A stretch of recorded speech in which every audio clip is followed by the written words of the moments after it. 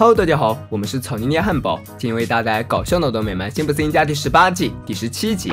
这天，春田小镇展开了家长教师集体会议，大概内容就是，虽然家长给了钱，但学校还是很穷，所以将要从各方面节省原本给学生的开支。希望家长们表个态，愿不愿意当这个冤大头？就在他们都在积极填写邮箱时，新妈却在台下惴惴不安，因为她没有邮箱。都什么年代了，居然还有不上网冲浪的人？新爸告诉妻子，网络能开阔他的视野，不管。是什么秘闻都能够在上面找到，看来不能一心只做家务事，两眼不关网络潮了。新妈决定要抓住潮流的尾巴，做一名合格的冲浪选手。新小妹马上就开始教新妈一些简单的查询功能，比如如何了解实时天气。现在是晴天，新妈看着洒进屋内的阳光，果然更新的很快。就这样，新妈正式开始了网上冲浪之旅。在网上，她能够了解全国各地的物价，甚至能够俯瞰自己的家，所以足不出户就能看到裸奔的辛巴。不过辛巴倒是对于公开搞。颜色毫不羞涩，为了不穿衣服，直接躲进了弗兰德家。吃饭的时候，新妈向家人们展示自己的冲浪成果，也就一些零零碎碎的消息。比较有用的可能就是列了一个万圣节不能够索要糖果的家庭名单。不过新小妹还是对于妈妈的成果大加赞赏，甚至将她比作哥伦布，探知新大陆。虽然网络世界迷人眼，但新妈最想要的还是来自好友的邮件。不过都好几个小时了，除了广告数量不断增加，正经的邮件依然是一份都没有。无聊之下，新妈开始。看起了广告，其中有一则引起了他的注意：大地王国。原来这是一款多人角色扮演游戏。同意了游戏条款之后，就开始创建角色。在掠过了几个张牙舞爪的怪物之后，新马终于找到自己心仪的角色。接下来就是调整人物贴合自身的外形特征。嗯，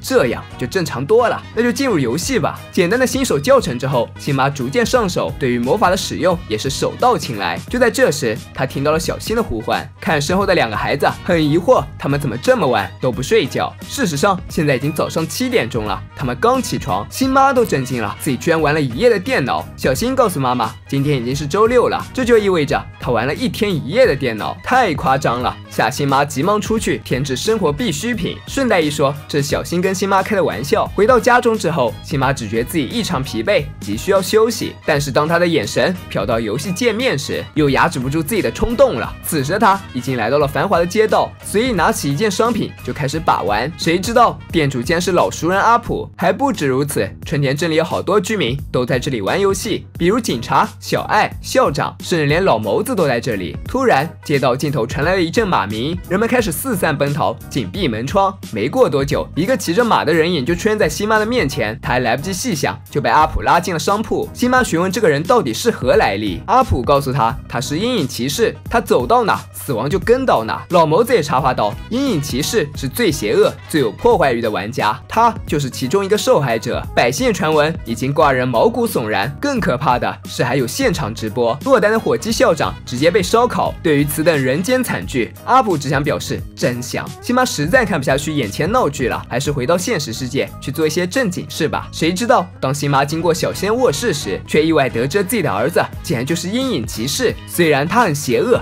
但也很厉害，很成功，不是吗？这么一想，心情竟然。还有点愉悦。游戏中的小新正在享受欢愉时刻，喝着由眼镜妹递过来的果汁，日子爽歪歪。要说为什么眼镜仔转了性别，这当然还是要拜小新所赐。就在此时，新妈来到小新的住所，很高兴告诉儿子自己正在和他一起玩游戏。小新十分不满意新妈此举，直接从卧室跑下来和新妈现实对线，质问他若是自己突然和他上街购物，他会怎么想？新妈表示还有这等好事，那可能做梦都会笑醒。于是异常绝望的小新只好愤慨。离去，在游戏里，小新也没有忘记恶搞老谋子。他滑稽举动逗乐了一众小新身边的漂亮女郎。就在气氛一片大好之时，新妈突然闯了进来。小新，你是在喝酒吗？这让小新尴尬极了，觉得妈妈让自己在奴才面前丢脸了。不过新妈却觉得，如果真是这样，他们就不是小新真正的奴才。小新只觉得亲妈简直不可理喻，当即就说自己要去做任务了。新妈马上表示，她也要跟着一起去。很明显，小新并不想妈妈跟着，所以先行一步走了。于是，新妈独自探索前进的方向，眼见自己的身边竟然出现了秃头大蟑螂，直接把他吓得滚落了山坡，正好落在三个混混的地盘。只见他们手持长剑，就要朝着昏迷的新妈砍去。突然，一个巨大阴影笼罩了他们，紧接着三颗人头就挨个落地。救他的人正是小新，母子俩手拉着手去做任务了。有小新这个高手中的高手，任务进展的很顺利。母子俩准备中途休息一下。当小新打开他居所大门时，立刻被眼前景象惊呆了。他所挂在房。房间里那些剑、那些头颅，全部都被辛巴换成了 Hello Kitty，这简直是奇耻大辱。小新操起武器就开始大肆破坏，不料这疯狂的行为直接导致辛妈的死亡。虽然只是在游戏里被儿子误杀，不过这并不影响辛妈在现实中教育小新：你怎么能谋杀你亲娘呢？不过小新也不打算认错，他觉得在辛妈来之前，他一直玩的好好的，是辛妈非要来搅和一下。才出事的。这母子俩正不对付之时，辛巴和辛小妹也回到了家中。他们俩看样子也正在闹别扭。辛小妹对爸爸大吼了两句之后，掩面哭泣着跑上了楼。要说父女俩这段时间经历也是十分的有趣。一天，辛巴经过了辛小妹的房间，看到女儿正往小腿里塞东西。辛巴感觉很惊奇，他只听说过垫胸的，居然还有垫小腿的。辛小妹直呼这是什么虎狼之词，她这是为了踢球采取的保护措施。说着就向辛巴炫了一下自己的球。球技他迷上这项运动，还是因为观看了一部电影。女主人公勇敢地向父亲表示要坚持自己的爱好。辛巴听了女儿的话，也对足球产生了兴趣，就问辛小妹要不要自己陪他去。事实上，他早就答应了回去。几个年轻小女孩正在球场上驰骋，突然接到了小丑的通知，他们没有裁判，所以比赛取消了。辛小妹询问裁判去哪里了呀？辞职了。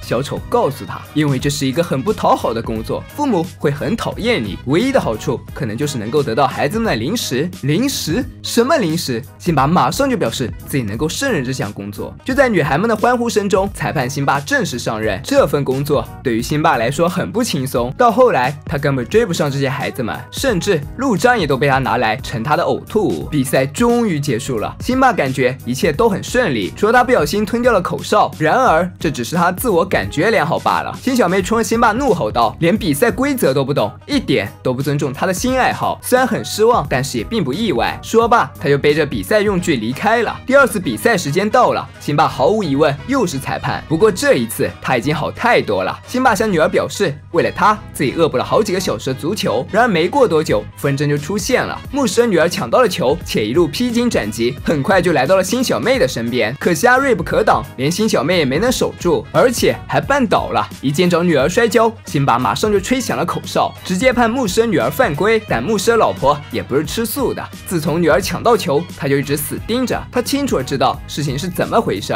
所以直接逼辛小妹承认是自己摔倒的。正当辛小妹犹豫不决的看向辛巴之时，辛巴发话了。他说了，就是牧师女儿犯规了。这样明显偏袒，显然惹怒了牧师妻子。他生气的说，连耶稣也救不了辛巴。这辛巴可忍不了了，直接判他们夫妻出局。站在爸爸身后的辛小妹听到这一切，露出了一个满意又阴险的笑容。接下来，辛小妹就越来越过。分了！无论是谁抢了他的球，他都假装绊倒。辛巴也没有辜负女儿的演技，直接判那些人犯规。孩子的家长都坐在观众席上呢。辛小妹假摔了一整天了，他们看的是清清楚楚，直接就下场来与辛巴对峙。就在双方都吵得不可开交的时候，罗纳尔多出现在了球场之中。这可是一个足球高手呀！他目前正在世界范围内打击假摔者，而辛小妹就是其中的一员。这下另一方就取得了彻底的胜利。辛巴向女儿举起了黄牌警告，可辛小妹。并不接受这个裁决，直接撕掉了辛巴给她的黄牌。这一次，辛巴也没有再纵容女儿的任性，直接又拿出了红牌，勒令她离场。时间来到他们回到家中，辛巴向女儿表示自己只是按照比赛规则办事，辛小妹却怒吼道：“是啊。”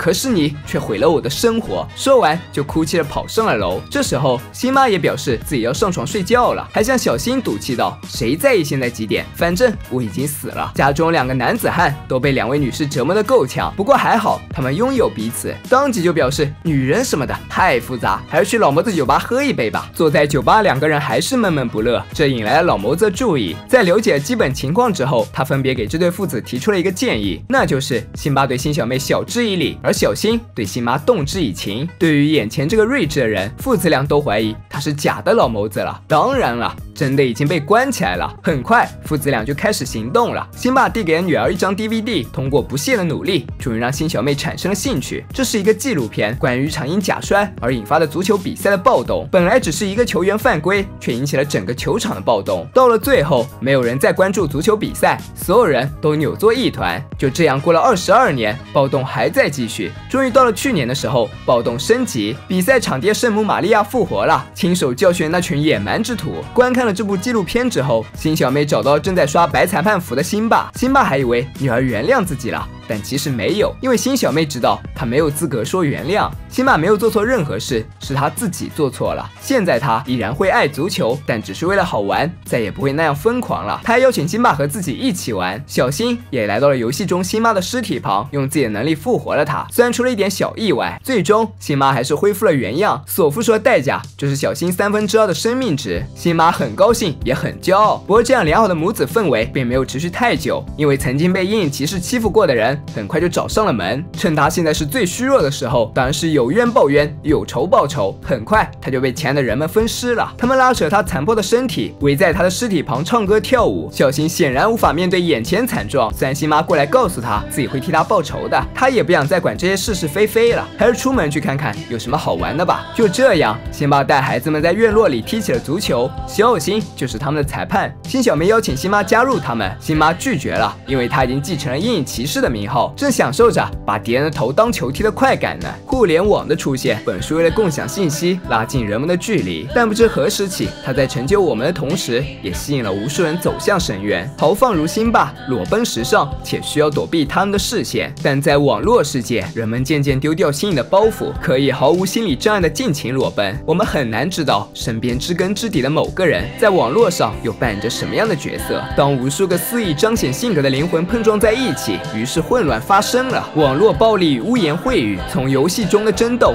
到现实兑现，我们很难再分清虚拟和现实。就算有着准确的规则与尺度，也会有人不断尝试越过雷区。就像是一场娱乐性质球赛，就连裁判都是个门外汉。但只要一涉及到输赢，胜负欲就像是人的本能，牵引着思想偏离正轨，再辅以他人的一点点纵容，就会失去理智。为达到目的，可以不择手段。就算受到指责与制裁，也只顾着在意一时的意气之争，而不知悔改。游戏、比赛、学习，甚至人。生竞争总是无处不在，而规则也许并不只是限制自由的枷锁，而是让每个人都有机会抵达终点的保障。守住规则其实是一种自我保护，现实和网络都是如此。如果过于计较胜负，那么无论输赢，内心都会不得避免的感到折磨与煎熬。何不回归本心，稳住步调？当全世界都在忙忙碌碌，不要忘记自己想去的地方。